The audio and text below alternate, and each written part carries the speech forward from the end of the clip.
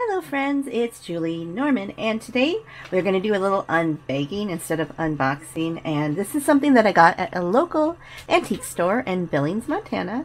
Um, if you hear any, that's my dog. My dog has decided I'm talking to him. So anyways, I, here's my receipt and um, it cost me $25.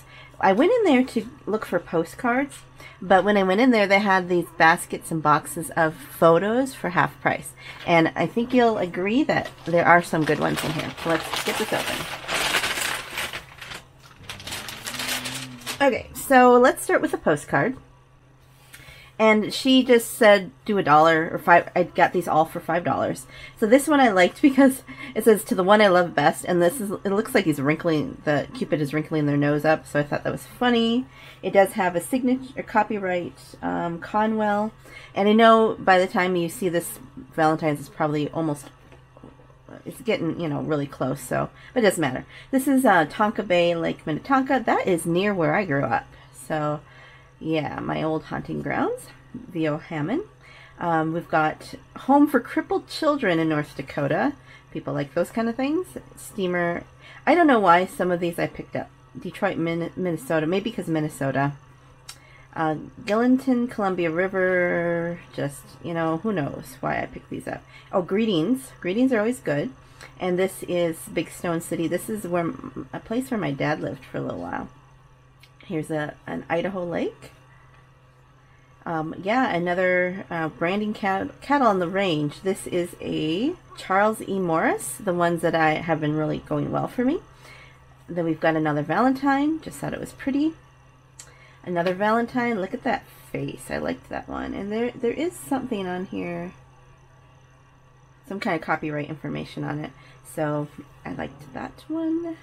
Oh, this one might be for me because it's got the weaving and they've got a great wheel. I like to pick these up. Um, here is a buffalo, bison, whatever you call it. A largest living buffalo bull, and that was in an undivided back. Here is a Yellowstone Historic Center that will be, I mean, Yellowstone's kind of popular. Here's a Greetings from Whitehall. It's obviously added the, the uh, mica glitter here. and But Whitehall, I don't see that much. Uh, here's another one with a little message you could put in here. There is, uh, it says, so it's got a little fold-out note, received a card today. All the kinds of things that you would say. Um, oh, they talked about earthquake shocks. The people of Virginia think the shocks are caused from some big geyser in park. So, yeah, that's interesting. That's talking about an earthquake.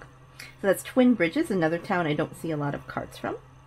Here's another Montana card, Missoula Depot. And lastly, we've got another uh, view of Yellowstone River. So let's see here. How many did I get? 1, 2, 3, 4, 5, 6, 7, 8, 9, 10, 11, 12, 15 for $5. So it's about 33 cents a piece. So I thought that was a pretty good deal. Now let's look at the photos. Though there is a, a basket of a lot of these little loose photos, and they had also albums of photo or photo albums that were empty. So obviously they had taken them. Some of them were taken out. This one is like a truck, so you know work truck. Thought that was good. So these this is ten cents, and it also tell, tells you this morehead. So this actually cost me five cents. This is what I liked. And I got a bunch. Um, here is a photo booth photo, which I've heard are popular. I haven't ha sold them yet. This looked, this reminded me of a USO photo. There it looks like there might be some like when they did the entertaining of the troops. I could be totally wrong, but um, you know, I'll have to zoom in that photo. There's a building back there. Who knows? I mean, might might totally be something different. Someone in uniform. Another photo booth photo of a little baby, and it does tell who it is. Some Miss Missoula. Oh, I didn't notice that. It was Missoula Lodge. That's cool. I'm probably um, one of those groups. Here it looks like a sailor and maybe um, a lady in uniform. And there was a few of this cabin, so I picked them up because it's five cents each. And here's a couple more photo booth. It was five cents. I think this is a photo booth. Guy with a banjo.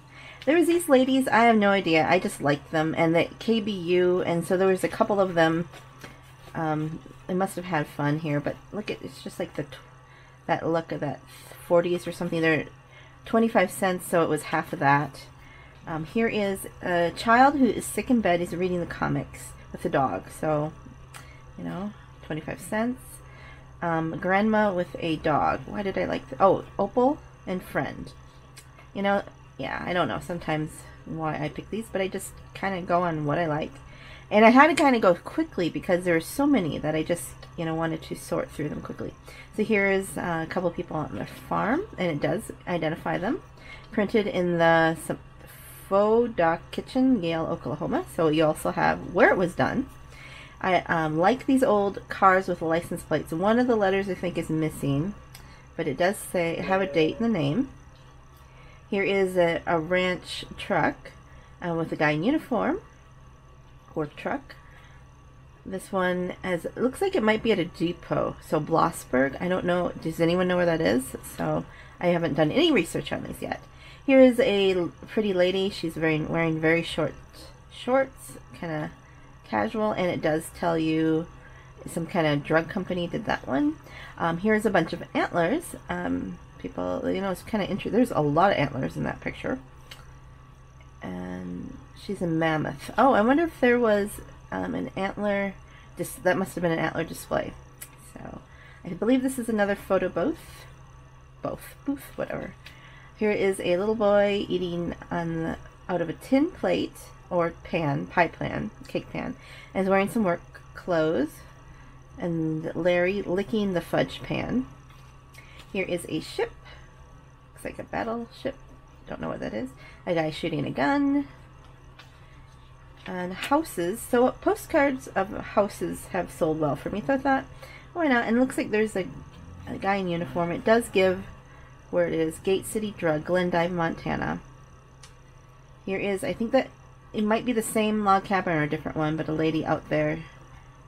And a sailboat, Virginia, Minnesota.